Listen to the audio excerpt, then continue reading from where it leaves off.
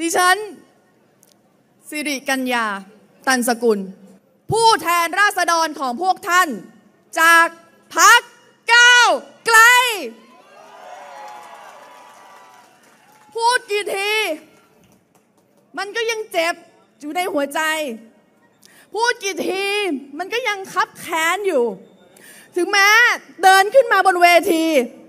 เห็นหน้าพี่น้องประชาชน เห็นรอยยิ้มบนใบหน้า เหมือนพวกท่านจะคลายกังวลกันได้ แต่ให้พูดคำว่าก้าวไกลกี่ครั้ง มันก็ยังแค้นเข้าไปในหัวใจ เพราะนี่เป็นการถูกยุบพักในชีวิตของดิฉัน เป็นครั้งที่สองแล้ว ใครชิน กูไม่ชิน มันเหมือนผู้ มีอำนาจในประเทศนี้เนี่ยมันคิดว่าประชาชนคิดเองไม่ได้ ต้องคอยมาบอกว่าควรจะทำยังไง คอยมาบอกเราว่าผู้นำของเราหน้าตาควรจะเป็นแบบไหน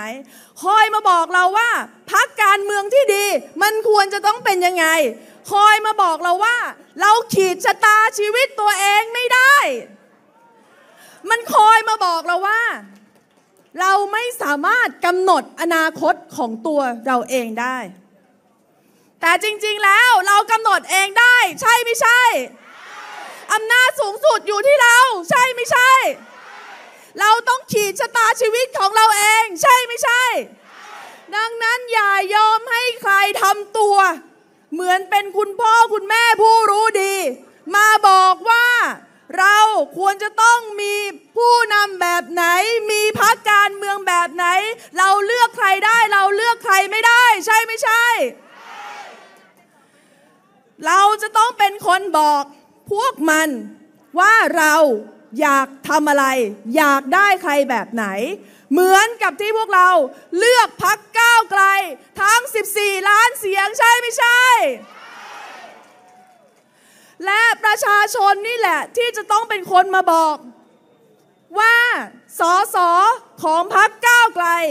ควรจะทำอะไร เพราะคุณคือเจ้านายตัวจริงของเรา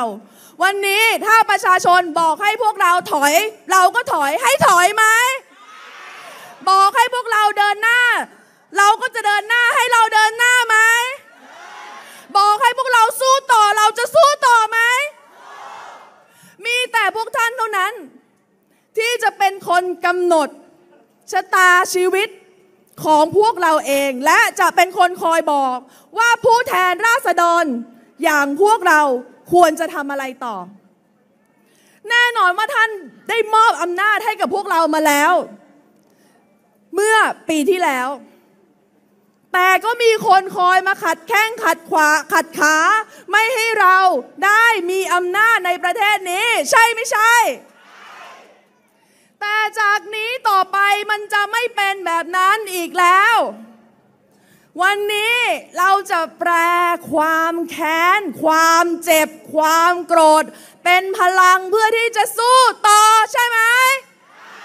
สู้ไม่สู้ เราจะสู้ไปด้วยกันใช่ไหม คืออย่างเดียว ที่จะเป็นตัวคอยบอกส่งเสียงให้ดังไปถึงผู้มีอำนาจ ว่าใครกันแน่ คือผู้มีอำนาจสูงสุดในประเทศนี้นั่นก็คือ ประชาชน มีคนพูดหลายคนแล้วว่ายุบครั้งนี้ ถึงแม้ว่าเราจะเสียใจแค่ไหน ให้เราฮึบฮึบเอาไว้ เป็นแรง ส่งแรงนี้ไปสู่พลังในครั้งต่อ ๆ ไป ไม่ว่าจะเป็นการเลือกซ่องซ่อมที่พิษณุโลกก็ต้องส้มทั้งพิษณุโลกใช่ไม่ใช่ เลือกตั้งนายกอบจก็ต้องส้มทั้งแผ่นดินใช่ไม่ใช่ เพื่อส่งสัญญาณให้ผู้มีอำนาจ ได้รู้ว่า ตอนนี้ทุกอย่างเพิ่งเริ่มต้น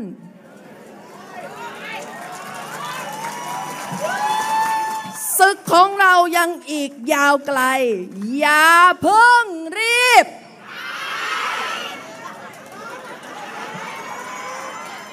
และวันหนึ่ง วันนั้นมันก็จะเป็นวันของเราที่ประชาชนมีอำนาจสูงสุดในแผ่นดินนี้